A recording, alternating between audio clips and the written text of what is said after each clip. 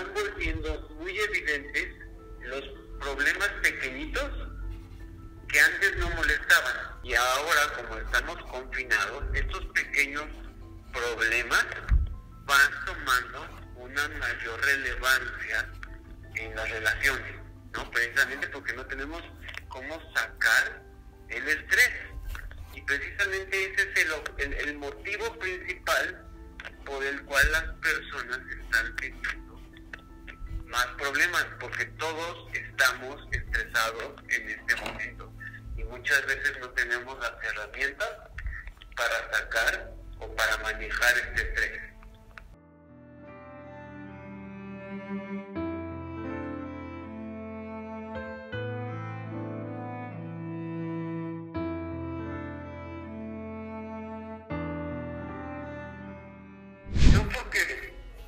Ya hayan aguantado, o te lo había dicho, 10 años, van a tener una mejor eh, adaptación que una pareja que tiene 6 meses.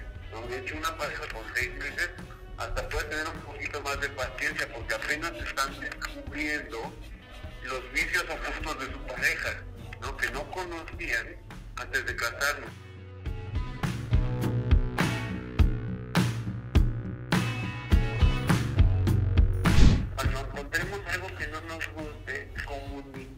Con nuestra pareja. Este momento es un momento increíble para mejorar nuestras habilidades de comunicación.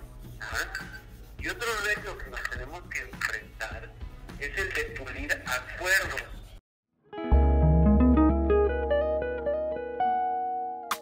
Es algo que se van a hablar y con lo cual los dos van a estar satisfechos. Tal vez son actividades que no le gustan a ninguno de los dos, pero no se le van a cargar solamente a una persona, sino que van a encontrar un punto de acuerdo los dos para mejorar su relación y que ambos se sientan igual de comprometidos.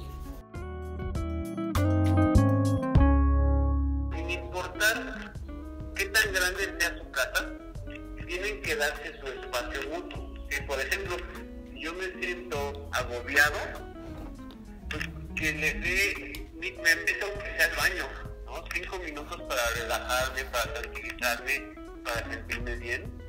Y no estar encima de mi pareja todo el tiempo, todo el tiempo, todo el tiempo siguiéndola para todos lados.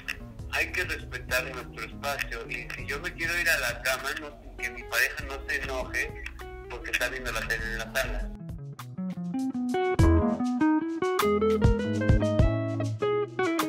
Si tu objetivo es fortalecer tu relación en este momento, lo vas a conseguir muy bien.